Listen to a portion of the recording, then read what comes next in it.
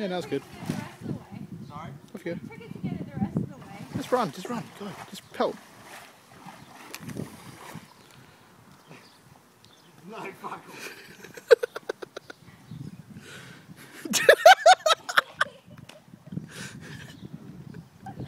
Are you filming? Yes. Hey, look, I almost made it. Oh, you should you should finish the job, Chris. Don't do don't leave jobs half done. Now hurry up, seriously. Like you're letting Alicia down. You're like you're sacrificing my sexual appetite for the whole month.